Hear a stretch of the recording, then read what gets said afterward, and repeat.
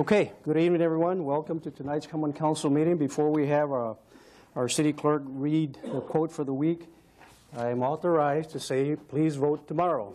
It says on here, all right? Thank you. It's a great joke, isn't it? Madam City Clerk, would you please read the quote? Thanks. Truth is the glue that holds government together. Compromise is the oil that makes governments go. Thank you very much. Call the 20th, uh, 22nd meeting of the Common Council to order. Please call the roll. Boren. Here. Bauk. Gisha. Hannah. Heidemann. Kittleson. Clayunas. Manny. Meyer. Montemayor. Rindfleisch. Ryan. Smith. Vanderweel. Verhasselt. And Wangerman. Excuse. 15 present. Quorum is present. This time, it's uh, time to pledge uh, allegiance to our beautiful country. Alderman Rindfleisch, would you please lead us?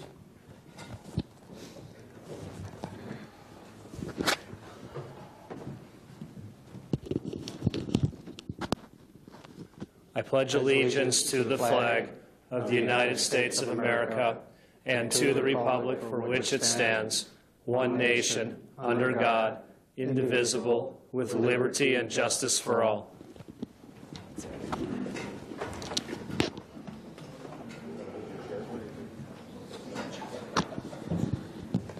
Thank you, Alderman Rindfleisch.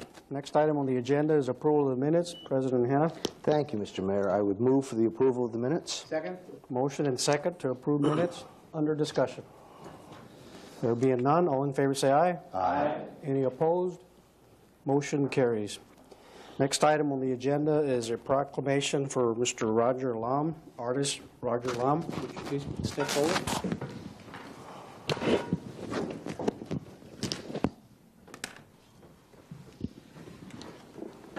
Good evening. Welcome.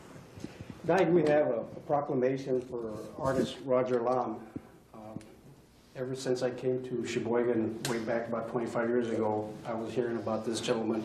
He has become truly an icon, not only in the art field in Sheboygan, but in the area of love in Sheboygan. I think a lot of your, your paintings and, and your, um, and, and where you talk and write your bulletins and so forth reflect that he has a, a good heart, a good feel for the city of Sheboygan, and that your art expresses that.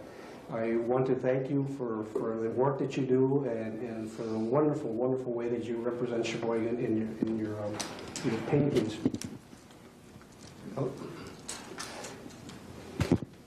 Therefore, we have a proclamation for Mr. Lam. Whereas Roger Lam captures the essence of Sheboygan and positively reflects the city of Sheboygan through his art. And whereas Roger Lam published Off the Main Drive, a booklet that shares what the city of Sheboygan and the surrounding areas offer. And whereas Roger Lam came to Sheboygan right after completion of Layton School of Art in Milwaukee with the intent of staying one year, but has lived here for 40. Thank you for that one. And whereas Roger Lam fights to keep and maintain history, the history of Sheboygan by preserving its, its historical architecture, as is exemplified by his current studio on the corner of Erie Avenue and 7th Street. And whereas Roger Lam's love for Sheboygan and art has made him a vital member of the Sheboygan area and an important figure in the city of Sheboygan. I therefore, by, the virtue, by virtue of the authority vested in me as the mayor of Sheboygan, do hereby extend my personal thanks and congratulations to Roger Lam and declare February 18, 2008 as Artist Roger Lam's Day. And I urge our council, as well as all our citizens, to recognize artist Roger Lam and to extend their thanks to him for presenting the beauty of Sheboygan through his art to others. Thank you very much, Roger.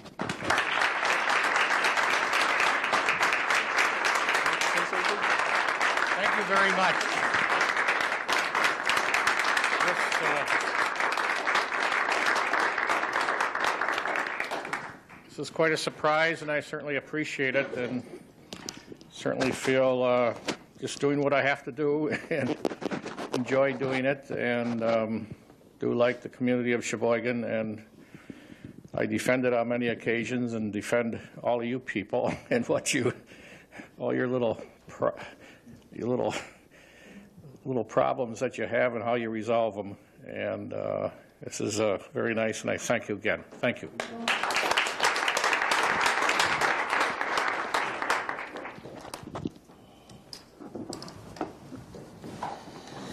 Next item on the agenda will be, uh, we'll be skipping. There is a uh, inability to contact the individual the second time. Next item, public forum. Madam City Clerk. Thank you.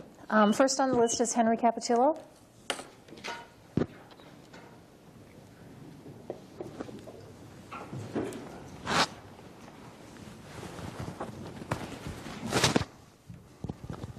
Mr. Capatillo, can you give me your home address, please? Yes, that's 1619 North 38th Street, and that's in the town of Sheboygan. And I'm here representing Home Inc. Okay, thank you, and you will have five minutes, sir. Okay. I had a whole statement prepared, but after talking with uh, Alderman Gisha, I'm going to re- revise some of the things that I was going to say. Um, the concern that I had was I was coming here to let you know that um, I had received a certified letter from the city assessor's office. Basically, the city assessor's office is requesting that we basically reapply for our property tax exempt status, meaning that this is what our last application, what it was. And the concern that I have was, number one, I received this on February 13th. Everything has to be completed and into the city assessor's office by March 1st. If uh, this was the process that you were going to go through, I think it would have been just a little bit more timely that organizations would have the adequate time to prepare all these documents. Uh, the concern that I have is if we're not able to get this and prepare it in time and submit it to the city assessor's office, that means we're in non-compliance. Does that mean that our property tax exempt status is taken away and we no longer are eligible for that? The other question I have is who is all having to prepare these? What other organizations that are nonprofits that are being asked to submit or to reapply for their property exempt status? I know that I talked to Alderman, Alderman Gish at the beginning of the, the council meeting, and he assured me that the Finance Committee had directed or had asked that the City Assessor's Office review the applications that are presently there. Well, there's a difference between reviewing and asking an organization to reapply and complete all the paperwork that is now necess- necessary for them to consider our property exempt status. And the concern that I had when, when I did talk to uh, City Assessor Lutz was, well, where did this come from? I, I, hadn't heard anything at the city council meeting or nothing. He said, well, I was contacted by various city officials that directed me to do this. Um, the, I don't question the authority or the intent of the city assessor's office. They have the authority to do this. Is it being done right? I don't think so. Because what happens is, what selection process are you going to use? And I did ask that of the city assessor's office. He said, well, it's the age of the application. And I said, well, are you aware that our building, we've only owned it for four years, our last application was submitted in 2006. His response was, well, your application is old. So you have to complete everything that's in this letter, every parcel that you have, and all the supporting documents that go along with this. Now, again, the concern that I have is it just several organizations? Is it going to be one or two? Is it going to be all the organizations? Are they going to have sufficient time to complete and prepare this information to submit to the city assessor's office? I can understand that there's a mood for to generate additional revenue, and I've been the first one that have come here and have said, you know what, there has to be something done. But I really think this is not the way to do it. I think that if you're going to do something, you want to have input, you want to have open discussions, you want to be able to have the people come here and to discuss the issue at hand. I don't have a problem with, with paying property tax to some extent, but if it's only us and no one else, and now we're talking about we already pay property tax. It's not like we, we're not paying that. We are. And does that mean now that uh, if we submit this and for whatever reason they're not going to approve our application, We now have to pay our full property tax, which we did the first several years when we had our building. At that time, it was almost $18,000 annually. Um, You're not going to, what you're doing is creating a hardship for all the low-income people that we have in our building. They're the ones that are going to have the burden to pay additional money for this.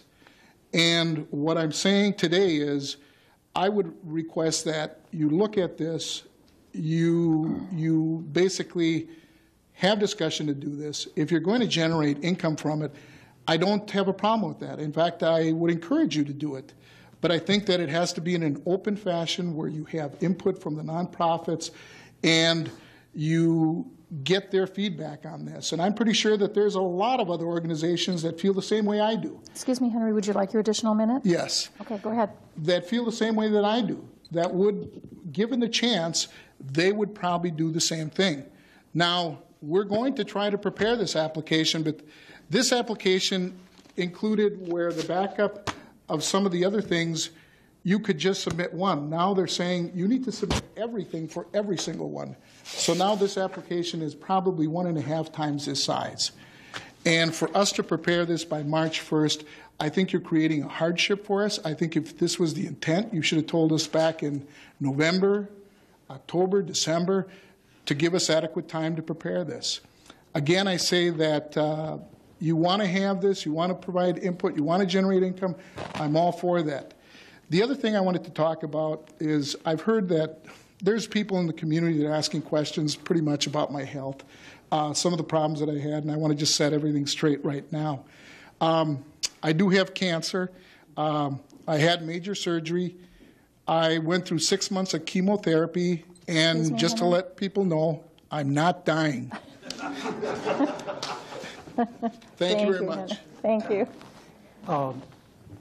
Some issues have been raised here that I think need to be addressed, and also primarily because other organizations or directors of other organizations may be watching tonight, that some of those issues have been raised. So I'd like for uh, uh, Mr. Dave Lutsky to step up and address this.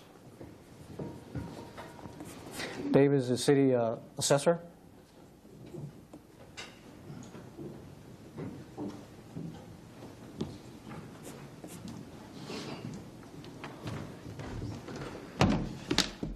Testing. One, two, testing. Uh, I've never addressed this committee before, but it's true. I am the new city assessor with the city of Sheboygan. And um, um, what I wanted to talk about now was what uh, Mr. Capitello was discussing, and this is regarding the, um, regarding the exemptions and my role. Every year from about January 1st to March 1st is really uh, a focus on exemption for city assessors across the state. Uh, this is the time when this is the time when we look at exemptions. Um, typically, um, if there's anyone a new classification change, people must, uh, per a form that's uh, prescribed by the Department of Revenue, they must fill that form out and get it to us by March 1st.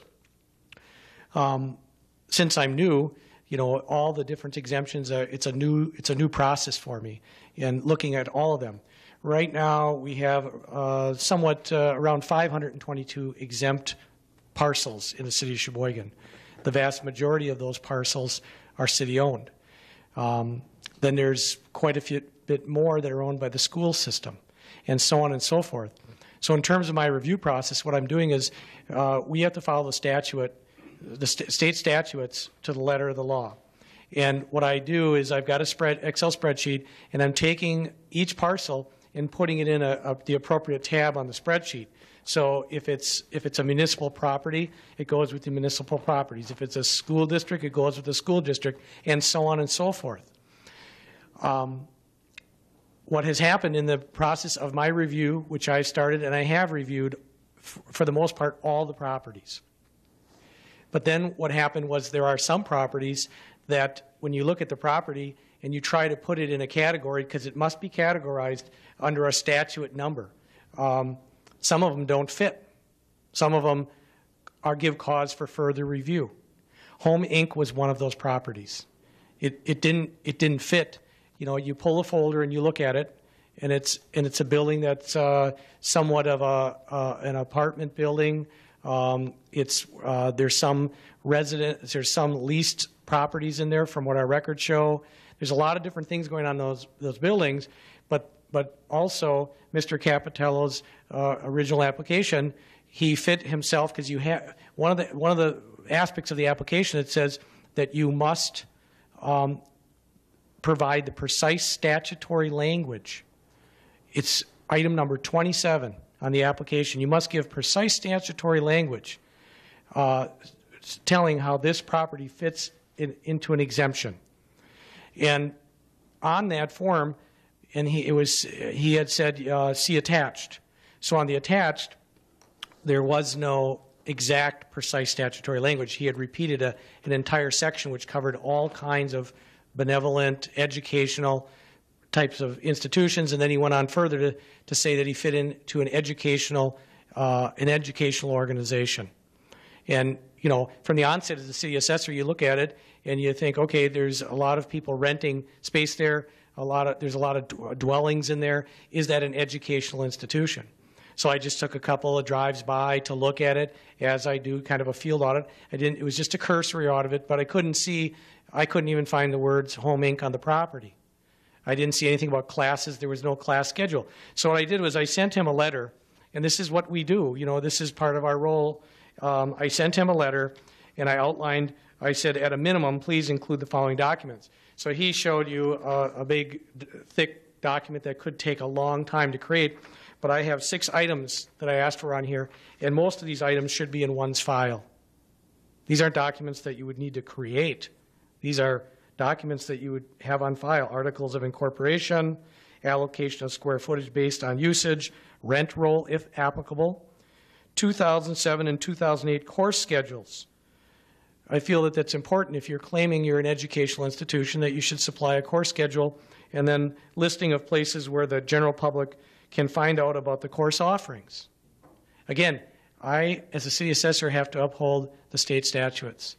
So and there was a couple others, and there were other, other letters set out, and there will continue to be. But there wasn't a lot in the, in the form of exemptions that didn't fit. Most of them fit. You know, as a city assessor, if I see schools, I'm not going to go over to North High School and ask them to fill out this form. I pretty much know it's an educational institution. But there's some that you look at it and you think, hmm, is this in, in the same thing with tax and part? We've got some situations with tax and part. The city's assessor's office um, isn't, and I say this, it isn't about taxation, it's about fairness. Our role is to be fair and uniform based on the statutes. And that's what we've done here. And, and I know Mr. Capitello was, was rather upset. I can understand that. However, I also told him, um, in terms of time frame, that we're not late, we're early. In my conversation, I told him it was for the 2009 tax year. So we're being beyond generous. People think we're behind March 1st. No, we're beyond early. We're, this wasn't for this March, it was for next March. But these things take a long time. To, in review of one of these, you know, we have about 20 properties that we're looking at that have exemption, and we have to, I have to do a lot of work on these. So what we have to do is we have to dig deep. Each one of these uh, can take several weeks to do. And if you extrapolate that out, and then in the end, we'll make the determination for 2009 as a group. These are the ones that lost their exemption. That's what that's what's going on here. Um, you know, I don't I don't really have much I don't really have much more to say on this. Uh, you know, I, I think that um, Mr. Capitello. The only thing is I can uh, would suggest is next time maybe you can come in. We wouldn't have to go through this in a public forum. Um, you know, we're nice people. You know, we don't we don't look for ways to not tax people. We look for ways to fit into the exemption. On my spreadsheet, I have for each property that's exempt, I have a statute that I have to put in. I've created this document for my own future reference, and then I have another big spot where I put in the precise statutory language for that particular property. So in the future, when we go and we open up this file, if somebody were to come to me and say, Dave, why is this property exempt? I can say per statute number, 70.11, uh, 4, and these are where the, and this is the precise statutory language that allows it to be exempt. So it's like really doing your homework. dot your i's, cross your t's, and and um, again, we I have you know maybe 20 properties that need some some further review, and I don't feel this is a forum to be discussing you know other people's exempt properties. But Mr. Capitello has brought this forward, and um, you know I feel that uh, you know I, I need to be obliged to be up here and, and, and speak about these things. Okay, thank you very much. Sure. Tulowitzki. Appreciate it. We do have one more uh, individual for the public forum. Chief Listowski? Your Honor, I don't mean to interrupt, I just want to let you know that Alex Gilliam is here now. Oh, he made it. Yes. Okay, we will take him as soon as we let the other uh, person. Madam City Clerk? Um, Last on the list would be Wendy Schmitz.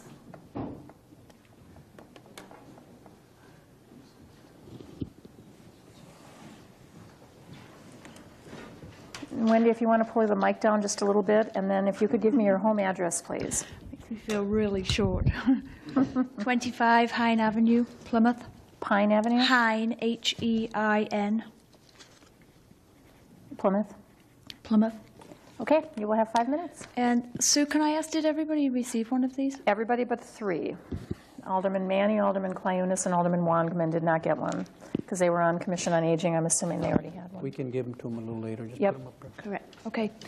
Well, my name is Wendy Schmitz, and I'm here as the supervisor of the Senior Activity Center of Sheboygan, so named in April of last year.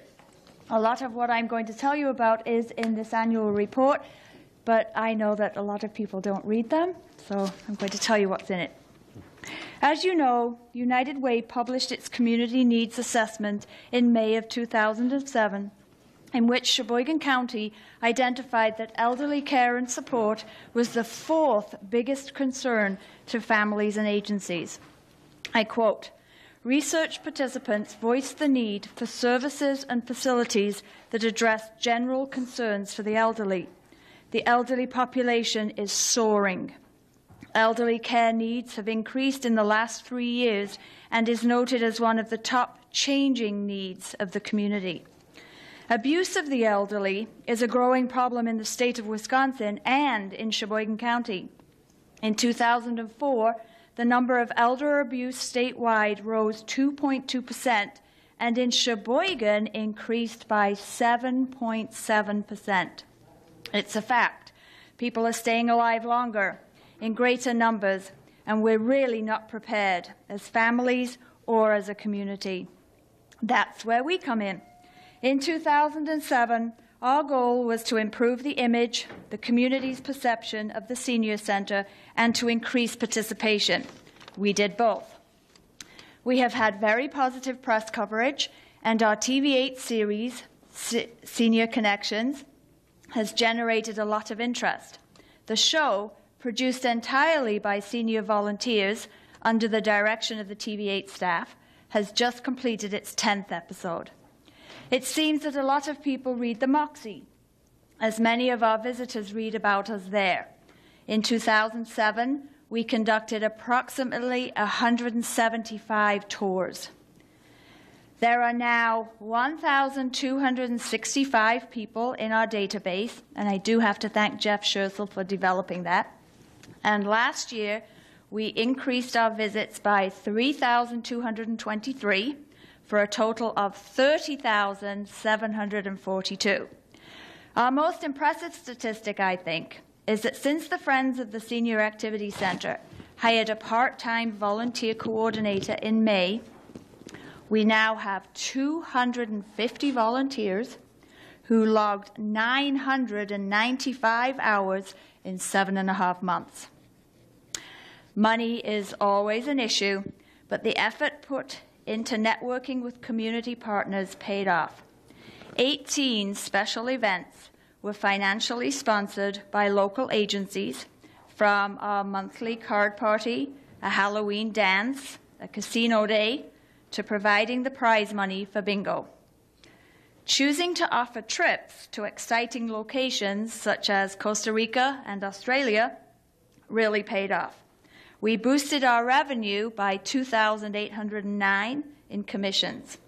A three day tour to Chicago, escorted by one of our senior volunteers, proved to be a valuable fundraiser for us. We also changed the look of our holiday fair last year. Local vendors, 18 of them, contributed 10% of their takings, and over $3,000 was raised that day. Of course, our goals are far more important than raising funds. We're proud that we're now fully accessible as the Friends of the Senior Activity Center provided the funding for handicapped accessible entrances and for one of our bathrooms to be remodeled to meet ADA standards. As people are living longer, they don't just want to be entertained, they want to be valuable, to keep learning and exploring new things. Not surprisingly, our volunteer computer tutors cannot keep up with the demand, and our writing class and readers theatre group are growing quickly. We're now partnering, we just started in January with LTC, and we offer an evening computer class. I cannot stress strongly enough how the impact of volunteer oh, excuse me, the impact of volunteers has changed our environment. 16 of our programs are led by volunteers. I'm in the enviable position where I see someone coming and I start to think, oh, but where can I put that activity? As I hear them enthusiastically say, We've had an idea. Can we start? They're starting another laser tag team. We are responding to the community's need for resources for our aging population. We are responding with lots of enthusiasm, energy, and support from our friends group. Excuse me, Wendy, would you like your additional minutes? Yes, please. Okay. We are one of the only centers in Wisconsin to be open only four days a week. We would like to thank Alderpersons Manny, Maya, and Klahunas for their work on the Commission on Aging, and Alderpersons Barron, Bauk, and Hannah for touring our center. Our theatre group is called Not the Land of the Living Dead. If you haven't visited already, please do, but call ahead. We're very busy. Thank you. Thank you. Thank you very much, Wendy. At this time, I'd ask uh, Mr. Alex Gilliam to come forward.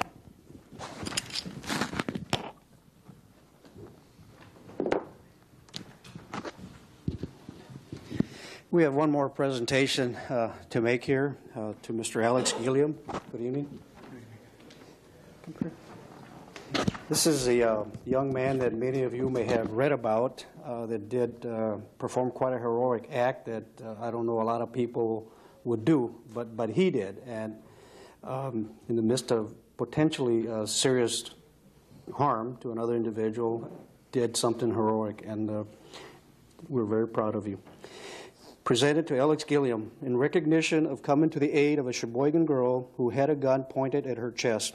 On February 8, 2008, while at the home of his girlfriend, an acquaintance of hers showed up and asked to speak with her. Minutes later, you heard her screaming and rushed to her side. You saw he had a gun pointed at her chest and wrestled the rifle from the 15 year old boy. You also managed to eject several rounds from the rifle and held him down until the police arrived. Your quick response and heroic efforts prevented a much more serious crime from taking place. I commend your gallant efforts and issue this certificate and affix my seal and, and signature upon it. Certificate of recognition to Alex Gilliam. Thank you very much.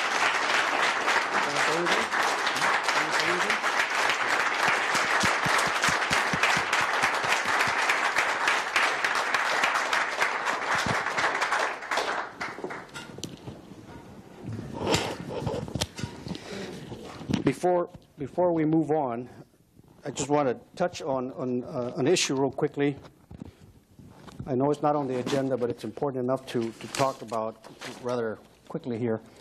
Uh, it's the issue that, that uh, involves the city's efforts in, in cleaning up snow.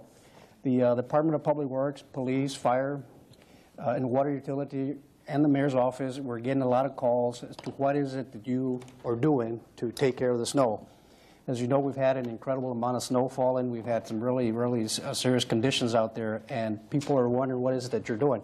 I just wanted to touch a little bit on that, on what we're doing. But we are basically working with our, within our means and within our resources. And I went out there a couple of days and drove around the city, and one of the things that you see is people are not moving their cars. Okay, and, and I say that because I'd like to ask the public to, to please help us out. When you're supposed to move the car, please move your car because two things are going to happen. You're going to get a citation, and they're not going to be, you're not going to be very happy. The other thing is, if you don't move your car, the people that think you should are going to be mad at us because you're not moving your car and we're not enforcing the, the, uh, the ordinance. So it's important that the, the public moves the cars. Another thing that's happening as we work within our means and resources is that we very low we are very low on salt. We've ordered salt, but we're not the only ones in Wisconsin that has ordered salt. So every city in, in, the state of Wisconsin and any, anywhere else that have the same salt sources that have done that, and we're behind on that. We've got um, a minimal amount, and some of it is being mixed with sand and trying to do the best we can on there. As you know, last Friday, I, I believe last Friday, I, I issued an emergency executive order. Now, what that did was extended winter parking rules, not snow emergency rules. The snow emergency rules will supersede winter parking rules. What the winter parking, extending the winter parking rules did is it helped us clear the streets so that our public works department can come through and clean a lot of the snow that has been accumulated. The order was issued not necessarily because a lot of the snow has fallen, although that is a reason, but it's because a lot of snow has fallen, a lot of accumulation is occurring, and the streets are becoming narrower and narrower and narrower to the point where uh, police squad cars, uh, fire trucks, ambulances, uh, other vehicles in the city cannot get through because there's cars parked on the, on the sides and they're bringing, this, they're causing the street to get narrow. So it's important to extend those rules so people move their cars so we can go in there and clean them. Everyone um, is going to get their street clean. I believe everybody has. But just to give you an idea, since November, just since November here, which is when our winter season started, the city of Sheboygan has had about 80 inches of snow. 80 inches of snow. In just the last month or six weeks, we've had 48 alone. That is a lot of snow, folks. That is a lot of snow. DPW has responded very well. Um, I am very proud of the way uh, Mr. Bill Bittner and, and uh, Mr. Beeble and his, and his employees have responded. Since the, uh, the, in the last month, we've had about uh, 13 uh, snowfall events, okay, meaning that huge, like now, we're having snow falling. Two of those were actually snow emergencies that had to be declared. We have, uh, we, and we, the city has 200 and miles of right-of-way streets. That's what, within our city limits, we have 201 miles. That means we have 402 miles we have to pay because we have to go on this side and we have to go on that side. When the crews make a pass, a pass is referred to as cleaning all those miles of street, uh, both sides, which is 402 miles. In the last 30 days, the Department of Public Works has made 21 passes of our city. 21. Now let me put that into more perspective. That translates to about 8,400 miles of cleaning. If you went around the circumference of the state of Wisconsin with all those miles, we could do that six times around the state of Wisconsin. Folks, that's a lot of plowing. We are doing our job. It's a lot of plowing. We may not be able to get to your house the minute you want us to and clean it in the manner that you want us to, but we're doing a job. You could even go with 8,400 miles, go from here to the tip of Texas in Brownsville and back three times. That's a lot of plowing. That's how much we've done out there. So our public works has done their job, and, and I commend them for them. The last three, 30 days, we've used 1,546 tons of salt. That's a lot of tonnage. Since November in 2007, we used 3,910 tons of salt. That's a lot of salt that we've used. Obviously, it's going to impact our budget. But if we've used that much salt, that much salt to definitely going to be needing more salt. But so is everybody, every other community, and everybody's asking for salt. And the people that have the salt, communities that have the salt, really don't want to share. And I don't blame them, quite frankly, because they don't want the problems that we're having. People calling my office and everybody else and saying, what are you doing to, to deal with the situation? But I want to assure the public and I want to assure the council that we're doing everything we possibly can to, to address this matter. We have, and in doing so, we have 55 dedicated employees. That's how many people are doing that. And we have 40 trucks. That's all we have, folks. That's all we have. We put every single truck out there. We put every single employee to work. They're working overtime. They're working in weekends. That's the time anybody and everybody, including myself, would love to be with their families. They're out there working hard to, uh, to help us clean their streets. And just since last uh, since Sunday, um, Mother Nature gave us another big hit.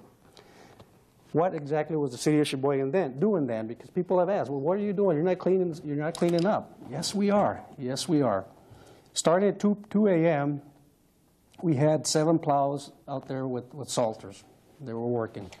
Between 6 a.m. and 9 a.m., talking about Sunday, we added 17 more workers. Now, these, this is a weekend, so this is overtime. People are at home with their family. We added those 17 because we saw that there was flooding going on. The rain was melting the snow. The uh, catch basins weren't, weren't uh, taking care of the drainage, so it was flooding the streets and people were running all over the place. It, it was just a mess. I had calls from a lot of people then. We had, uh, be- beginning at 6 p.m., that day, we had a new crew that was dispatched to relieve all those people that were out there. So it was a constant barrage of workers out there all this time dealing with the situation. Total, we had 31 workers on Sunday to deal with the difficult freezing rain situation. We did not ignore it. We were out there. Again, we're working within our means and our resources. And I think it's, it's important to, to thank the Public Works Department, the police, and the fire department, and the water utility came to aid too. And many citizens, I heard, were helping their neighbors, doing their share of cleaning the, the catch ba- basins, and just doing whatever they possibly could to help us deal with, very, with this very, very difficult situation. And I also want to thank the, the elderly gentleman that walked past my house while I was shoveling the snow and reminded me, by the way, you do live in Wisconsin. That's just the way things are with snow. Folks, I ask for your support and understanding. Help us out in dealing with this very difficult situation, and we will take care of the snow problems for you. Thank you very much. Next item on the agenda. Oh, uh, Alderman Meyer, did you want to say something? Yes, thank you, Your Honor. I just wanted to add that every plow driver has a route that they follow. I've heard many people complain, "Wow, the plow came down my road and he didn't have his plow down." Well, that is, the reason for that is that he is going to his route, and they have to follow their, their routes. And someone will be coming through, and just that everybody understands that they are working hard. Thank you very much. Thank you. Next item on the agenda is we have, oh, Alderman Bauk. Thanks, Your Honor. Just to, to add on to that, uh, one thing is, I encourage a lot of people move in and out of Sheboygan, and winter's a long season. If there's someone near you that doesn't isn't doesn't appear to be living by the rules, go knock on their door and introduce yourself to your darn neighbor and, and explain to them. We get young, you know, a young couple on our street. They just didn't know. They're new. They're working hard. They're not getting the newspaper. They're not listening to the radio. They're working, and they just didn't know. So knock on your neighbor's door and explain it to them. Be a good neighbor. That's number one. And number two, uh, on Sunday, I saw some streets flooded as I was driving through town and called the non-emergency police dispatch number just to say, hey, you know, I saw a street that looks kind of dangerous, uh, thinking I was being a good citizen helping out. Uh, and she said, Alderman Bout, gotcha. We'll, you're number 42 on the list. Uh, so citizens called in. The police, t- the police dispatcher was wonderful about it, and uh, uh, the, the public works team was out there working their tails off. There were 40 intersections that were flooded, and they were out there taking care of them. So I I echo your compliments to Mr. Bittner's team. Thank you, Alderman Bauk. Okay. Next item on the agenda, we have five hearings. I'm going to name, uh, read out each one, and then I'll ask if anyone would like to address the council with, with respect to either hearing. As I read them, if you want to speak on one, remember the number, and if you need to be repeated, please ask. Number one, for the proposed assessments of bituminous resurfacing for Illinois Avenue from South 14th Street to South 17th Street. Number two, for the proposed assessments for bituminous resurfacing for North 4th Street from Niagara Avenue to Superior Avenue. Number three, for the proposed assessments for bituminous resurfacing for 7th, South 7th Street from Indiana Avenue to High Avenue. Number four, for the proposed assessments for bituminous resurfacing for Huron Avenue from North 2nd Street to North 10th Street. Number five, for the proposed assessments for bituminous resurfacing for North 6th Street from Superior Avenue to Geele Avenue. At this time, is there anyone that would like to address the council? Is there anyone that would like to address the council? Is there anyone? We do have, uh, we do have a, a, a memorandum from uh, Mr. Bill Balke, city engineer. Copies were delivered to Alderman Bauk and Ryan. Um, I don't normally do this, but this individual is, uh, was not able to be here due to health reasons, and uh, we will be uh, sensitive to her, her, her condition. Her name is uh, Janita Holgate, lives in 12 1226 North 4th Street. She is a property owner who is on the list for hearings on number two on tonight's agenda for the proposed street assessments for bituminous resurfacing on that, on North Fourth Street from Niagara to Superior. As I said, she will not be able to attend this hearing for health reasons, and what she would like to convey to the council is that she does not feel that North Fourth Street needs to be resurfaced at this time, and that it should be delayed for as much as five years. There are more, there are many other streets that are more heavily traveled, like Erie Avenue and Superior Avenue, that should be done first. That is her comment. Is there anyone else that would like to address the council? President Hanna. Thank you, Mr. Mayor. I'd make a motion to close the hearings. Second. Motion and second to close hearings, one, two, three, four, and five. Under discussion. There is none. All in favor say aye. Aye. Any opposed? Motion carries. Consent agenda 21-1 through 22-20. President Hanna. Thank you, Mr. Mayor. Um, I move that all ROs be accepted and placed on file, and that all RCs be accepted and adopted. Second. Motion and second. Any discussion? Alderman Clayunas. Thank you, Your Honor. I just uh, questioning on 2217, is this a housekeeping issue that they're clearing out old documents? Is that correct? Okay, thank you. Okay. President Hanna? Is it? Yes, it is. Is that satisfactory? Alderman? Okay. Okay. 22-1 through 20, 22-1 through 22-20. Any other discussion? There being none, please call the roll. Boren. Bauk. Gisha. Hannah. Aye. Heidemann. Aye. Kittleson. Aye. Clayunas. Manny. Aye. Meyer. Aye. Montemayor. Aye. Rindfleisch. Ryan. Aye. Smith. Aye. Vanderweel. And Verhasselt. 15 ayes. Motion carries. Communications and petitions, 2221 to be referred. Alderman Boren.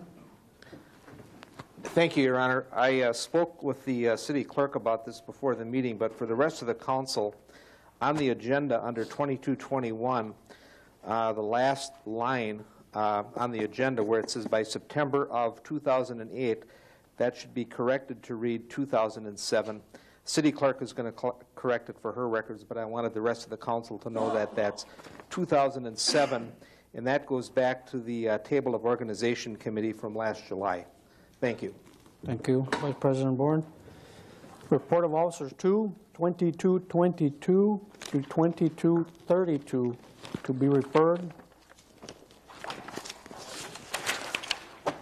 Resolutions introduced 3, 2233 by Alderman Meyer, authorizing an application for financial aid from the Non-Motorized Transportation Pilot Program to fund construction of a missing sidewalk connections. Alderman Meyer. Thank you, Your Honor. Must I ask for suspension of the rules? I don't, no. No. Then I move that the resolution be put upon its passage. Motion and second.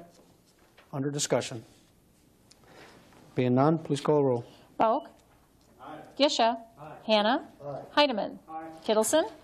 Clayunas. Manny. Meyer. Montemayor. Rindfleisch. Ryan. Smith. Vanderweel. Verhasselt. And Boren. 15 ayes. Motion carries. 2234 by Alderman Hanna, Boren, Clayunas, and Gisha, authorizing a refund in part for the 2007 personal property assessment for text parcel number 850494. President Hanna. Thank you, Mr. Mayor. I move that the resolution be put upon its passage. Second. Motion and second. Under discussion. There is none. Please call the roll. Gisha. Hannah. Aye. Heidemann. Aye. Kittleson. Clayunas. Manny. Aye. Meyer. Aye. Montemayor. Aye. Rindfleisch. Ryan. Smith. Aye. Vanderweel. Verhasselt.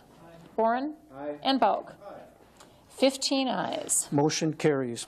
2235 through 2238 lies over.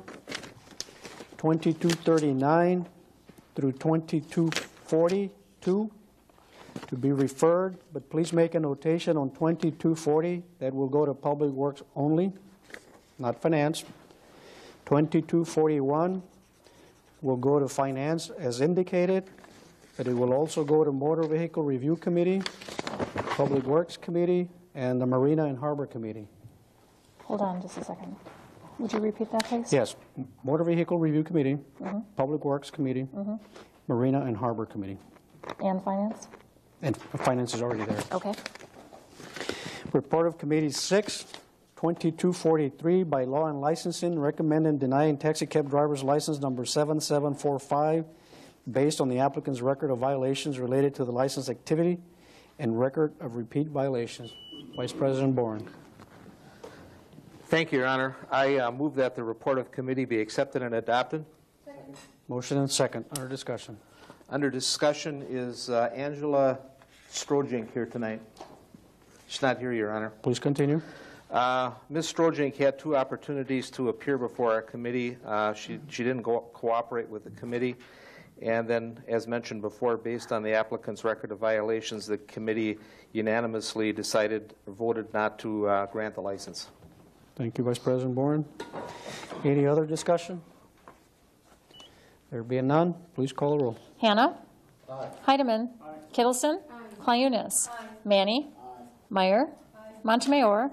Rindfleisch? Ryan? Smith? Vanderweel? Verhasselt? Boren? Bauk? And Gisha? 15 ayes. Motion carries. Report of, reports of committees 7, 2244 by law and licensing, recommending denying beverage operator's license number 7775 based on the applicant's record of violations related to the licensed activities. Vice President Boren. Thank you, Your Honor. I move that the report of committee be accepted and adopted. Motion and second. Under discussion. Under discussion is uh, Andrew uh, Batansis LeBlanc here tonight. He's not here, Your Honor. Thank you. Please proceed. Uh, Mr. LeBlanc appeared before the committee at our last meeting, and based on his record of violations related to the license activities, the committee voted unanimously not to grant the license. Thank you, Vice President Boren. Any further discussion? There is none. Please call the roll. Heidemann. Kittleson. Clayunas. Manny. Meyer. Montemayor. Rindfleisch. Ryan. Smith. Vanderweel. Verhasselt. Boren. Bauk. Gisha. And Hannah. 15 ayes. Motion carries. 2245 to be referred. Report of Committees 8, 2246 by Finance, recommending authorizing a transfer of appropriations in the 2008 budget, establishing revenue and appropriations for 2007 lead hazard con- control grant from the U.S. Department of Housing and Urban Development in the amount of $1,880,441,000. President Hannah. Thank you, Mr. Mayor. I move to accept and adopt the RC and place the resolution upon its passage. Second. Motion and second, under discussion. Alderman Verhasselt. Thank you, Your Honor. Could I ask the uh, chair of the committee just to explain the items uh, titled site work? I assume that's to do with the police station, the transfer about $1.4 million. President Hannah, do you, were you able to do that? Just to, remember exactly what it was. Paulette?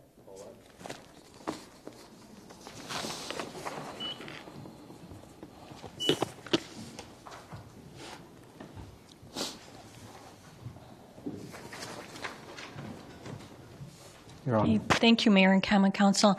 This is the, the lead hazard reduction grant for homeowners. And so the, act, the site work has to do with the actual lead removal that we do in the homes. And they're either loans and or grants to homeowners. Yes? a number of different sites that make up Yes. Multitude of homes throughout the community. across the city. Mhm. All right. Okay, thank you. Uh, President Hannah? And I think at the, at the same time, I think we place a lien on the property, don't we? Yes, we do. Okay, so that's, there's a whole process to go through on this. Okay. So if, if they remain in the home for a certain length of time, it becomes a grant. If not, it's paid back. Thank you, Paulette. Okay, any further discussion on 2246? There being none, please call the roll. Kittleson. Clayunas. Manny. Meyer. Montemayor. Rindfleisch. Ryan. Smith. Vanderweel. Verhasselt. Boren. Bauk. Gisha. Hannah. And Heidemann. 15 ayes. Motion carries. 2247 by Salary and Grievances recommending amending the Vantage Care Retirement Health Savings Program to make participation mandatory for eligible Mead Public Library employees. Alderman Montemayor. Thank you, Your Honor. I move to accept and file the RC and the resolution be put upon its passage. Motion and second, under discussion. There being none, please call the roll. Clayunas. Manny. Meyer. Montemayor. Rindfleisch. Ryan. Smith. Vanderweel. Verhasselt. Boren. Bauk. Gisha. Hannah. Heidemann. And Kittleson. 15 ayes. Motion carries. 2248 by Finance recommending amending the Vantage Care Retirement Health Savings Program to make participation mandatory for eligible Mead Public Library employees. President Hannah. Thank you, Mr. Mayor. I move to accept and adopt the RC and put the resolution upon its passage. Second. Motion and second, under discussion. Please continue. This is being done to, to be consistent with actually the, the plan document itself. So we're, we're doing something because the vendor needs their plan document to have certain language. Thank you, President Hannah. There being no more discussion, oh, Attorney McLean.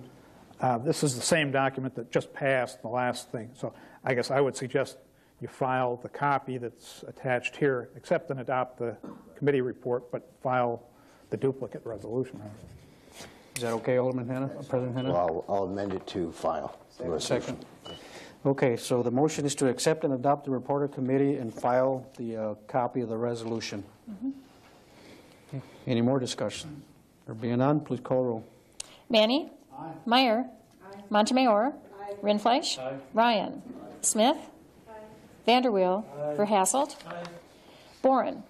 Bauk. Gisha. Hannah. Heidemann. Kittleson. And Clayunas. 15 ayes. Motion carries. 2249 by Finance, recommending authorizing a, a transfer of appropriations in the 2008 budget, establishing revenue and appropriation for witness fees for the municipal court cases for individuals subpoenaed by the city attorney. President Hannah, I'm sorry. Yes. President Hannah. Thank you, Mr. Mayor. I move first to accept and adopt the RC and then to uh, place the resolution upon its passage. Second. Motion and second, under discussion. President Hannah. Uh, This is a situation where uh, we're a little bit in arrears in paying some witnesses that have come, and we're not going to get witnesses to show up if we don't comply. It's true. Thank you very much. Alderman Kittleson. Oh, thank you, Your Honor. I guess I just, I just wanted some explanation as to why, um, where this was coming from, and, and I guess how this came up. Were we paying these fees before, or? President Hannah. Apparently, Thank we you. were paying them before, but then we had, I don't know why we got into arrears on that, and I think it shifted between the municipal court to our attorney's office. So the responsibility is now in the attorney's office, and that's where it's going to be taken care of. Okay. Thank you. Address it a little bit. Hold on. Oh, Vice President Boren? Thank you, Your Honor. And just, just to add to the, the discussion from the uh, Finance Committee, uh, the $10,000 figure, I believe Attorney McLean mentioned, uh, is what he kind of anticipates for this year, but this could be adjusted. He feels that it may be able to be adjusted downward after this year to see what our experience is. So next year it may be 5,000, it may be 6,000, but we felt comfortable in recommending this for the first year. Very good. Attorney McLean? Thank you, thank you, Your Honor. Uh, What this is, Alderman uh, Kittleson, is the court uh, sent our office uh, an email saying from here on forward, the court was not going to uh, pay for the witness fees out of the court account, and that they needed to come from our account. Uh, Our office, we historically have not had a budget for witness fees. We did check around other uh, municipalities that have municipal courts, and many of them do process the witness fees through the city attorney's office. Uh, So we agreed to do that, but we need to set up an account in order to pay those monies out. Um, the, the way it works is like in civil court where if you want to have a witness appear, you got to subpoena them in civil court, circuit court, in a civil action. Uh, you have to pay the witness up front in order for them to be required to appear. Municipal court, the prosecution does not have to pay up front, but they do, if when the witness does appear, uh, have to reimburse the subpoenaed witness. It's $5 plus their mileage at 20 cents a mile. Uh, and so we need to establish an account in which to be able to pay those monies. Now, uh, the concern that the court has is uh, what they've been doing is taking that out of the court monies of revenue that's collected. But a number of uh, cases, they're not, they haven't collected the revenue from the defendant, and uh, so they don't ha- have the money, in effect, to, to pay the witnesses. And what specifically led to this issue was uh, experts from the state uh, uh, department uh, where they certify the Intoxilyzer and provide expert witnesses on first offense drunk driving cases in municipal court. Uh, the court was not going to reimburse them until the defendant paid. And then we got into a catch 22. The state said, well, we're not going to come anymore as expert until we get our witness fees. So, uh, so this is going to come out of um, our account once it's established. And uh, then hopefully we will get reimbursed those monies as the defendants pay the forfeitures. So as Alderman Warren said, this $10,000 is a ballpark figure. That's a high number, but we don't have anything more concrete. And hopefully by you know, next budget, we'll have a better number to use. Alderman Kittleson, follow up? Thank you, Your Honor. Uh, So this would just be the normal way that you probably would set this up anyway. There- It's nothing unusual, right? Thank you. Okay. Thank you. Okay, there being no more discussion, there, there's a motion to accept and adopt of 2250 and to put the ordinance upon its passage. Please call the roll. I'm sorry, 2249, yes. Meyer. Montemayor. Rindfleisch. Ryan. Smith. Vanderweel. Verhasselt. Boren. Bauk. Gisha. Hannah. Heidemann. Kittleson. Clyunas. And Manny. 15 ayes. Motion carries. 22 of report of committees 9, 2250 by salaries and grievances is reestablishing the salaries of the election officials. Alderman Montemayor. Thank you, Your Honor. I move that we accept, that the RC be accepted and filed, and the ordinance be put upon its passage. Motion and second. Under discussion. Your Honor, I would like to make an amendment to that. Okay, please do. Uh, Now therefore, the Common Council of the City of Sheboygan do ordain, upon passage and publication as of February 2nd, 08, and then as follows. We have to put the date in there so that it actually happens. There's a motion. Is there a second to amend? Second to amend. Any more discussion on that? We will take the vote on the, Alderman Gisha, did you want to say something?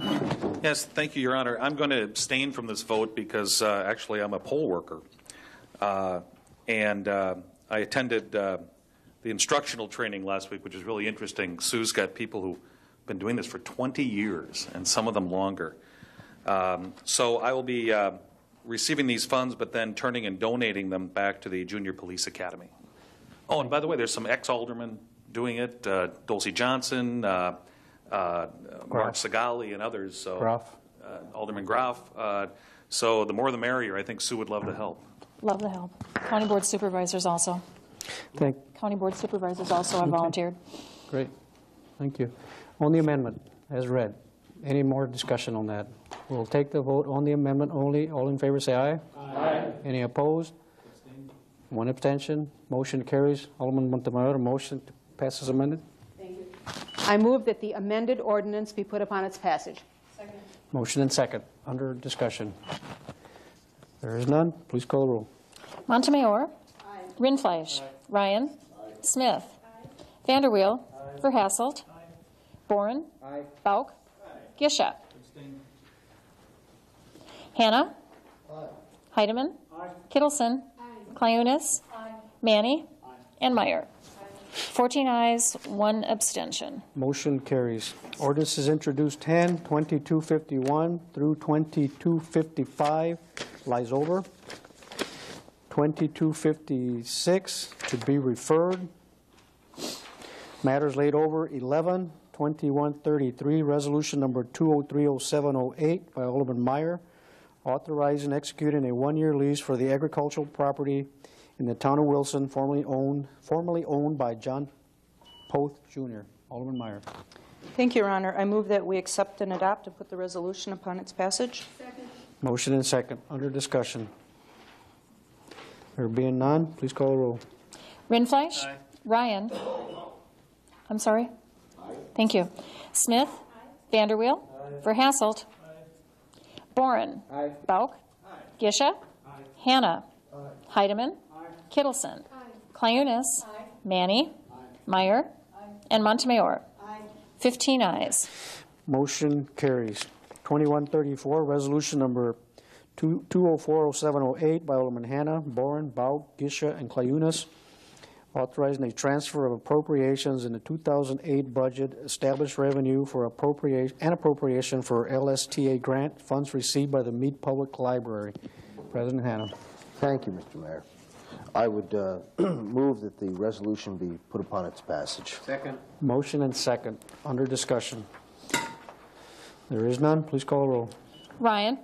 Smith? Vanderweel? Verhasselt? Boren? Bauk? Gisha? Hannah? Heidemann? Kittleson? Clayunas? Manny? Meyer? Montemayor?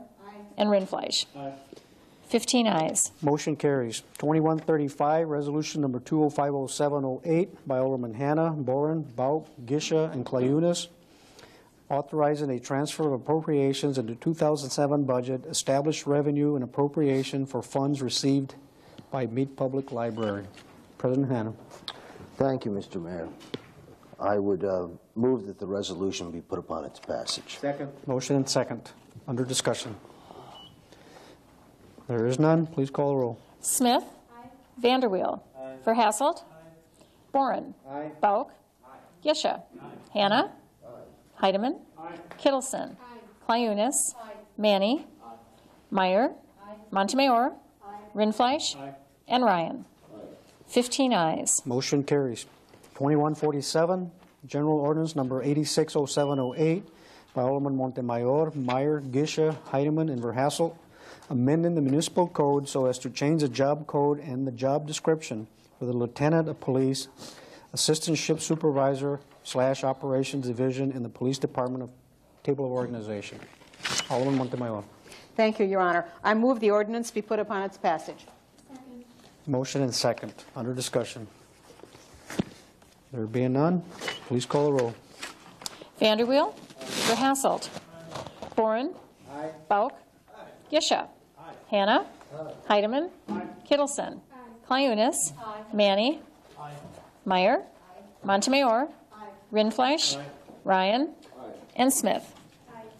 15 ayes. Motion carries. Other matters, Attorney McLean? Thank you, Your Honor. 2257 is an RO by the city clerk submitting the 2007 annual report of the Senior Activity Center of Sheboygan. That lies over. 2258 is an RO by the city clerk submitting various license applications for the period ending June 30, 2008 and June 30, 2009. That will be referred to law and licensing. 2259 is an RO by the city clerk submitting a claim from Diane Miller Veldboom for alleged damages to her vehicle when a snowplow hit her vehicle. That will be referred to risk management. President Hannah, motion. Thank you, Mr. Mayor. I'd make a motion to adjourn. Second. Motion second to adjourn. Any discussion on that? All in favor say aye. Opposed? Motion carries. Stand adjourned. Good night. Thank you very much.